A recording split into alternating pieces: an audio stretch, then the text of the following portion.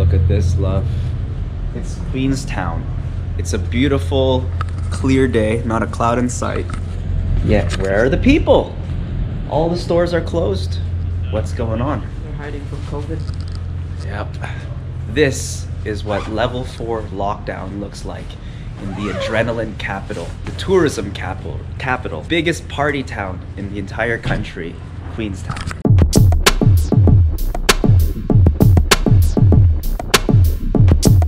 New Zealand has received its first ever Delta variant community case, the case being a 58 year old unvaccinated Auckland man that had visited the Coromandel prior. Yesterday evening, Jacinda announced that all of New Zealand would be going into alert level 4 lockdown as of midnight that same night. That's why Cabinet has met this afternoon and made the decision that New Zealand will move to alert level 4 from 11:59 p.m. tonight.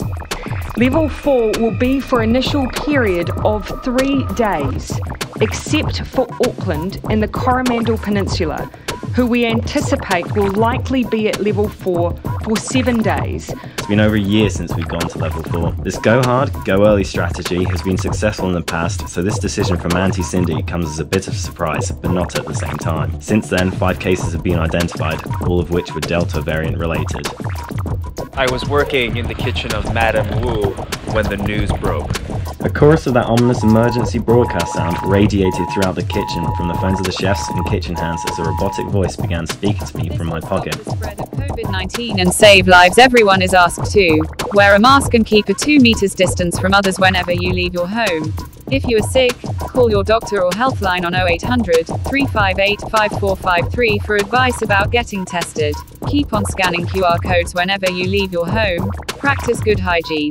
Wash hands often. Services including supermarkets, pharmacies, clinics, and. We quickly began storing defrosted duck, shrimp, and produce in the chiller to try and make it last over the next three days the restaurant would be closed. We left the restaurant with big bags of cooked food that would have been wasted otherwise roti bread, 2 litre containers of rice, chicken, and pork.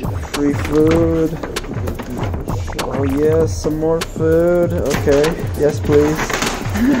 It's funny because you could easily identify the hospital workers living at the hostel because you could see them coming back from work with brown bags heaping with cooked food that would have been thrown out otherwise.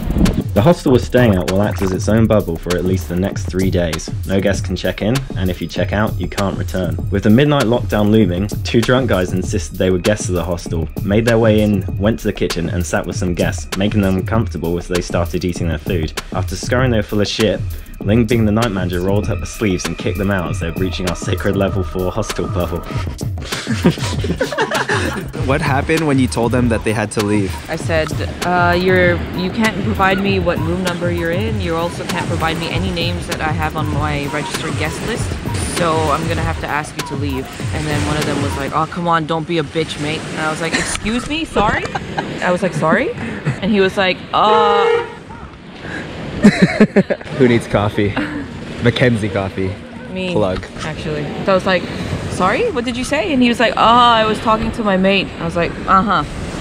I'm gonna have to ask you to leave. You're not supposed to be here. We're at level four lockdown, and it's only registered guests here as of midnight tonight, and you are not on my list, and you can't tell me, you can't prove to me that you're actually staying here. So you you need to go. They escaped out the fire exit and they haven't been seen since. Let's hope they don't they're not seen because I- I Ling's gonna have to lay the I smack didn't- down. I didn't kill them, I promise. Probably didn't have a place to stay for the night and were in full panic mode, didn't want to sleep outside, so they figured let's try to sneak our way into a hostel and sleep there. Now this is the most unusual sight of them all. There's not a single soul in or around the Fergs. The bakers, the misses, the burgers. Closed. Closed. We Fergus loves you. What sucks is that this three day lockdown coincides with my two days off from the restaurant, forcing me to cancel all the activities that we had planned for the next two days. The snowboarding night session up at Coronet Peak is off, and we've just got done with a meter of fresh powder, the biggest dump in five years. I had a hot yoga class booked tomorrow, which I've been waiting two weeks for, but couldn't attend because my work schedule didn't allow it. And Ling and I had dinner reservations Thursday. Scratch that. Winter Pride is in about a week's time. It's going to be a huge week long event here in Queenstown. Let's just hope that this lockdown doesn't affect that. Well, the good news is we've got three days to binge watch Netflix. Oh, look at the bird! Oh, come here, birdie. Doesn't like you. To be my friend. Walk of shame. Which being in Queenstown, there's no shortage of trails surrounded by stunning panoramic views of snow-capped mountains, lakes and trees.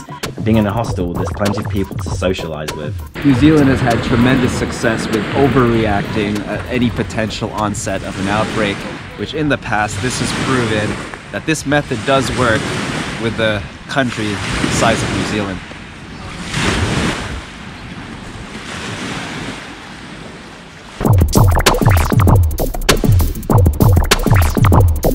Did I read the last part right? because he has an English accent. I don't know, but not at the same time. If I like, No, no, that Is yeah, that alright? Yeah, yeah, that the delivery makes more sense. Like it's it's a bit of a surprise that we went to level four, but but not. it isn't at yeah, the same because time. that historically that's what they've done. Right. yeah.